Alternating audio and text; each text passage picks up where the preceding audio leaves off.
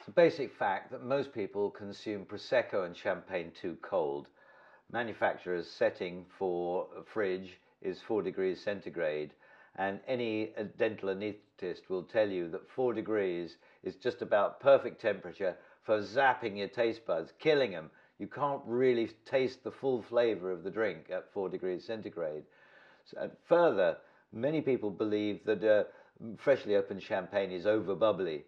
So the remedy for both problems is the champagne carafe. Now this Frenchy from about 1880 uh, is differs from most examples in that it's got this craquelure finish on the outside, quite sharp.